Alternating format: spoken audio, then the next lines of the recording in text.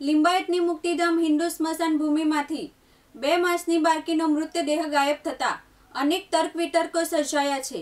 જે મામલે લિંબાયત પોલીસ દ્વારા કડક કાર્યવાહી નહીં થતા તેલંગાણા પદમશાલી સમાજ તેમજ શિવશક્તિ ભીમશક્તિ ફાઉન્ડેશને જિલ્લા કલેક્ટર, પોલીસ કમિશનર અને મનપા કમિશનરને રજૂઆત કરી સ્મશાન ભૂમિના ટ્રસ્ટી વિરુદ્ધ ગુનો નોંધી ધરપકડ કરવા માંગ કરી છે.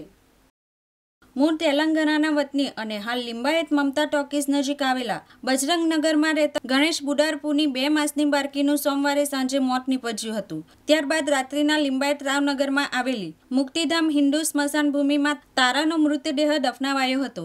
બુધવારે મરણોત્તર વિધિ કરવા પહોંચેલા પરિવારને દફનાવાયેલી પુત્રી તારાનો મૃતદેહ દેખાયો ન હતો, જેને પગલે પરિવાર અને સમાજના લોકોએ તારાના મૃતદેહનો તાંત્રિક વિધિમાં ઉપયોગ થયાની આશંકા વ્યક્ત કરતા ખરભરાટ મચી જવા પામ્યો છે.